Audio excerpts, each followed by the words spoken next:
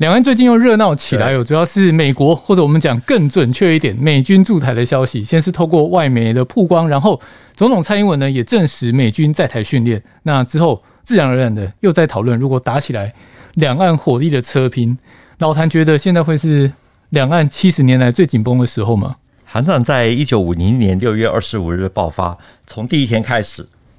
两岸的格局其实就已经被封印。现在很多人都说两岸可能会发生战争，其实，在蒋介石的时代哦，他除了高喊一年准备，两年反攻，三年扫荡，五年成功，他甚至也还说过，翻译早一点打过来，事实上也都没有事。不过老蒋这么的说，是因为他有底气啊，因为那个时候退守到台湾的国军，虽然火力不足，最窘迫的时候只有十二万三千支的步枪。可是他清楚知道背后有美国第七舰队当靠山，所以他才敢这么说。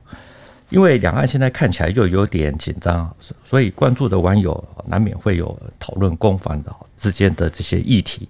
我们今天就来说一下有关网络的军事梗，也就是火力不足恐惧症，看看两岸各自的演变。七十年了，到底有没有治好这个病？所以还是要讲朝鲜半岛。我不知道你是想要以古鉴今啊？但你刚刚讲到那个火力不足这件事啊，我记得这几集的一八零四的老兵，其实很多人都认为说，如果当时他们的火力够，韩战的发展是很难说的。我们先简单快速介绍一下，从民国以来，军队装备不佳，这个是日常。所以八年抗战，大多是十名国军才能对付一名日本军，说是用血肉之躯来抵抗。炮火，这个是一点都不为过的。至于八路军装备比国军还要差，可是呢，他们依然可以啊，这个用呃不同的方式来克服。唯独到了朝鲜战场，面对了世界第一的美军啊，才深深的感受到火力不足对于战局的影响是有多么的严重。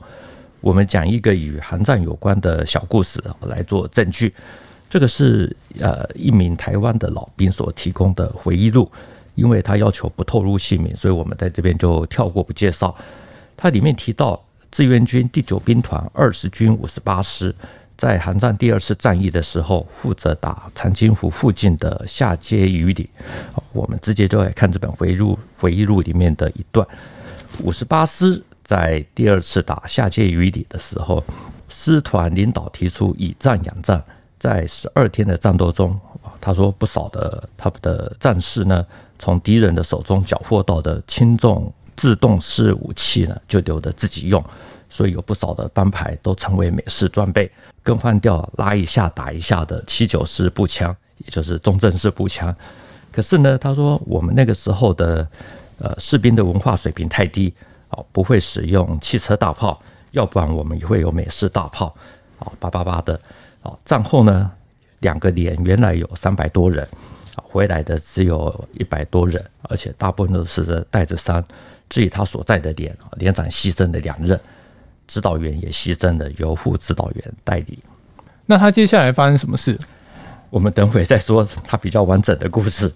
那我问两个问题好了，一个是装备劣势，这个可以透过不同的方法来克服，是大概是有想到一些办法了。不过火力不足，这其实就是一个硬体条件上的弱点，真的有办法去补强吗？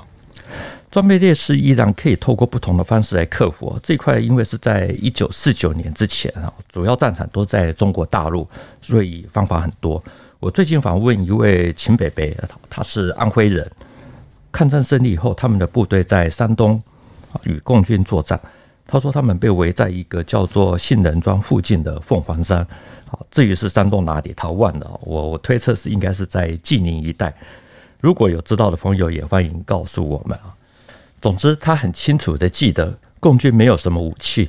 每天晚上就是派人潜伏啊靠近，我就放着几声冷枪。他们在山上的重机枪呢，就开始朝山下枪响的地方开火，然后呢，共军就每隔一阵子啊再开几枪，他们就继续扫射，啊，十天半个月这样子过去了，子弹消耗快要完毕，啊，刚好第五军也来了，啊，他们就撤退下山，在路边呢就看到早就已经贴好的这种大纸张，啊上面写着啊，此蒋老蒋送的，此枪老蒋送的，他们才知道上当了。所以这是国共版 另类的草船借箭吗？他说共军没有什么武器啊，所以根本没有什么冲锋上山，跟那个对一般我们在电影里面或电视看的那样子，只有一些人在山下喊叫，另外还找了一个地方唱戏的啊，这是很有名的戏曲的地方的演员，好像是姓万啊，对他们喊话。此外，就是每晚就开那几枪，等到山下的共军看到了山上的回击火力越来越弱，就知道说弹药快打完。那个时候才会开始找机会摸进，找机会冲锋。这个战斗方式真的跟普遍认知的那种人海冲锋、人海战术是不太一样。是，真正像三大战役啊，或者说像是太原战役，动用到火炮上千门，然后发射数十万发的炮弹哦，类似这种的打法，其实在整个国共内战并不是算太多，而且这些火炮很多都是迫击炮。还轮调着使用，例如东北辽沈战役打完，哦，炮兵抽去打平津战役，平津战役打完就去打太原，太原打完了去打兰州。至于其他管道的农村地区啊，其实很多地方都是采用类似看起来很原始这种战斗程度、激烈程度啊，其实是相当有限。至于像亲贝贝所看到的，不代表全部啊，甚至于连局部也不是啊。不过我们还是要说，在很多不是那么重要的地方。可能采用的方式就是慢慢的跟你耗，像河北的永年围城，哦，就是这样子围呃两年多。华北最后陷落的河南安阳守城的部队啊，只有重机枪，火炮扫到可能就只有一门六零迫击炮。不管怎么说，数量都是很少，因为整个中国大陆实在是太大。不要以为说国军有所谓的十大王牌军啊，在火力上具有绝对碾压的优势啊，实际上的情形就是顶多相对的好很多。面对这种优势呢，并没有多到说可以从量变到质变，所以很容易被中共的精神战力、群众动员，还有战斗技巧等等去抵消掉。所以照这样听下来，我们可以说。解放军的火力不足，在跟国军交手的时候，其实还不能算是一个很大的问题哦，是，甚至就说不是一个主要的障碍。是，应该说慢慢的改善、发展、提高。跟国军比起来呢，解放军在三大战役之后，整个其实是真的是倒转过来。可是呢，我们刚刚提到，因为战场太大，国军自己也有火力不足的问题啊，这就给解放军一个可能会有的一个错觉，就是美国的武器也不过尔。